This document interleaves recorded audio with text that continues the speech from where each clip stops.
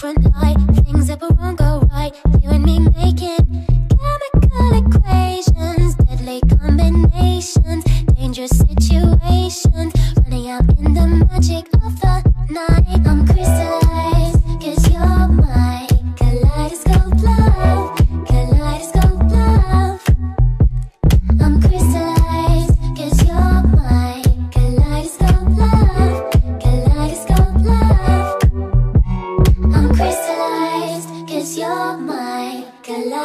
kaleidoscope love, kaleidoscope love. I'm crystallized, cause you're my kaleidoscope love, kaleidoscope love. So hey guys, welcome, welcome back to my channel. Happy New Year. Happy New Year. It's 2017, so it's time to make new changes, new moves, and make a journey worth your while this year. So today I decided to do a nice kind of afro look that I've been wanting to do for a very long time.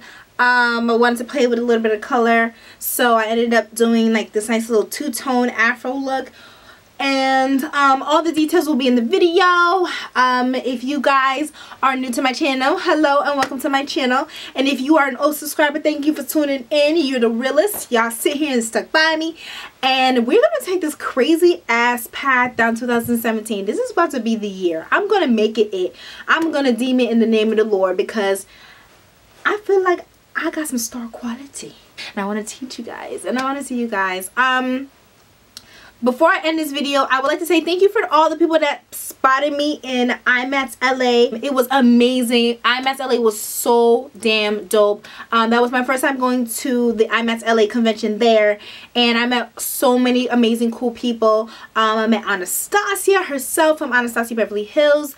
Um, I've met one of my favorite makeup artist Mila. She does a lot of the um, Real Housewives makeup and the, you know, the reality stars makeup. And I'm glad to meet her in person. And we talked and chatted a little bit.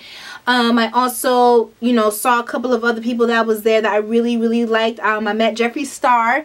And I know some people may be feeling some type of way. But listen, he commented on my face. He said my face was flawless. He liked my skin. So I'm going to live off of that because I'm just gonna do that. But um, other than that, IMATS LA was bomb. I am gonna go to IMATS New York, but I'm not gonna be going for the Saturday and the Sunday. I am just gonna go for Pro Day um, because I just need to get some more brushes and stuff like that. You know, makeup junkie. This is what we do. We always just like to make sure we have so much damn shit. So, anywho, let me stop blabbling. Let me go into the video. If you would like to know how I got this amazing, dope ass afro look with just a wig, just stay tuned. Okay, y'all, so let's get into this style and how to achieve it. So you're going to need your deluxe weaving cap, the stretchy kind with the holes in it. You're also going to need a pair of scissors to cut the hair if need be. You're also going to need a couple of clips to pin up the hair while you're crocheting it on your cap. You're going to need your latch hook or your crocheting needle, whatever you like to call it. That's what you're going to need. You're also going to need a comb to help part your hair to braid with the braiding hair that you're also going to be using. I like to use braiding hair when I'm just braiding my natural hair underneath my wigs. And then last but definitely not least, you're going to need the hair that you're going to be crocheting. And I'm going to be using two types of hair. I'm going to be using um, the same type of textured hair, but different colors. So one is a 4 and then one is a 2. So let's get into the look. So before I sit here and show y'all my set it off braids, it's looking real crazy. Anywho, but that's how you're gonna braid your hair underneath your wig cap. Just straight back braids with the braiding hair. You're gonna put on your deluxe weaving cap and you're just gonna adjust it to your head. Now these caps tend to be a little bit big and definitely a lot stretchy. So you're going to have to sew or tie down the part that is a little bit kind of spacey in the back. And I'll show you how you do that right here. So what you're going to just do is kind of make sure you stretch the cap back as far as you can. That will be basically cover your head. And you're going to tie a knot in the back. And then I will show you how you are basically going to sew that part down on your mannequin so you won't ever have to worry about that little flap popping up in the middle of your wig okay? So as I'm about to pretty much show you guys how I'm to be doing your hair um, I'm to be taking that little tie right there in the back and I'm just to sew it down. So I have a needle and thread already threaded and I'm going to basically sew that part down. And once I sew that part down I will be crocheting the hair. And if you guys definitely need a tutorial on how I crochet hair. I have a couple of videos here on my channel that I show you guys how I crochet my hair onto my wigs onto my actual braids. But I mean it's self-explanatory and um, it's really really easy to do. So I'm hoping that you guys can follow through and I hope that you guys like this little tutorial of how to make your afro wig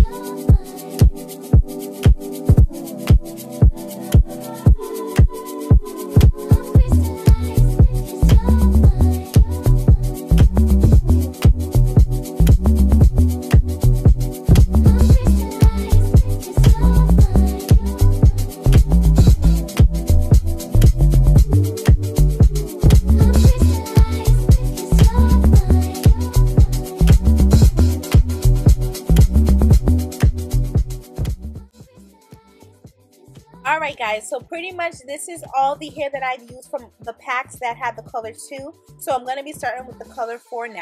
And basically the way I'm going to be doing this part of the wig is I'm just going to go in the half moon kind of pattern that I have around the wig and I'm just going to go back and forth, back and forth until I reach to the top of the wig. Um, I just wanted to make sure that I distribute the color evenly and then when I go in and start chopping it up that it pretty much have a nice even look all the way around.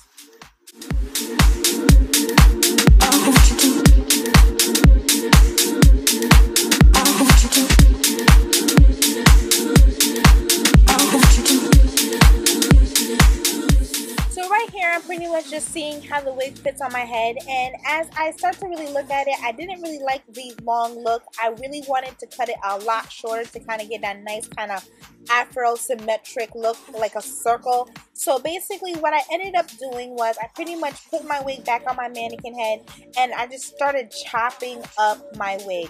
That's pretty much what I did. So I kept chopping chopping chopping chopping chopping it up. And unfortunately I thought I recorded it and I did not record it. So I'm just letting you guys know that you won't see the full per se finished wig until I'm completely made up but that's pretty much what I wanted to do I wanted to make sure that I chopped it up as best as I could so I can kind of get that nice kind of waterfall, but not too much of a waterfall afro look, if you know what I'm saying.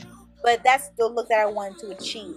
Um, I ended up flipping the wig upside down also and kind of cutting a little bit of layers at the bottom of it to basically let it flip to the top so it kind of was one cohesive look. And like I said, it's just really kind of eyeballing it and seeing how you really want it to flow. Um, if you see that little head right there, that's my goddaughter. She really, really wanted to help me. Um, but, you know, I let her hold my mirror, but I didn't want her to touch no scissors or nothing. But um, she's like a little hairstylist in the making. But yeah, guys, that's pretty much it. You just got to make sure you eyeball it and see how you want it to flow on your head. And eventually it will come out the way you want it.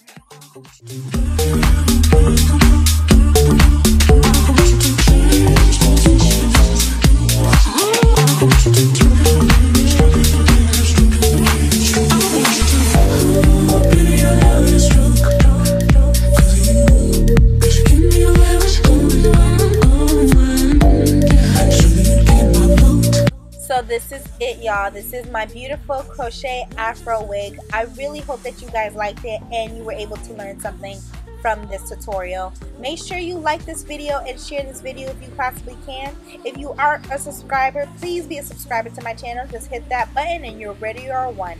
I will tune into you guys on a whole nother video. Until next time, y'all. Take care.